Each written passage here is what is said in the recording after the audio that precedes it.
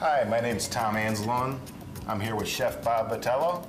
What do we got going here, Bob? Well, today we're going to do some grilling. It's that time of the year. We're going to grill. We're going to grill salmon, and we're going to do a grilled bok choy red pepper salad with rice to go with it. Excellent. Sounds good. Sounds pretty interesting. doesn't Sounds it? interesting. Hope I don't mess it up. All right, what we're going to do here is we have some salmon. We're going to make a little glaze for it.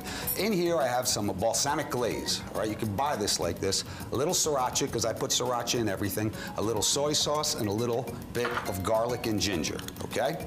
And what we're going to do is take a little bit of this canola oil, this spray, olive oil spray, whatever you want, and we're going to take a little bit of this. And if you notice, I'm only going to use one spoonful because I'm going to show you what we're going to do with the rest. We're going to put this right on our salmon. So we're going to take our salmon and we're going to put this seasoned side down in the grill pan. Now we want to get some nice flavor with this too, with our salad. So we're going to take red pepper that we have here, and we're gonna take a little bit of bok choy. Now I'm gonna show you what I do with the bok choy.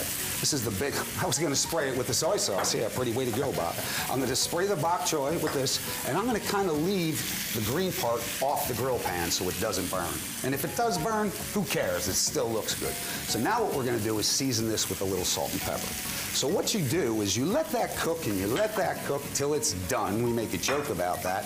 And then you take some brown rice that I have here. Brown rice already cooked, all right? I take the bok choy and I take the red peppers and I mix it together with this. Then I take orange juice, mix it with the rest of my balsamic glaze, mix it into here, and that's pretty much it. Starting tomorrow, be sure to stop by your Publix Apron Simple Meals kiosk. Pick up the recipe card and all the ingredients after sampling our delicious recipes. Thanks, Tom. Thank you, Bob.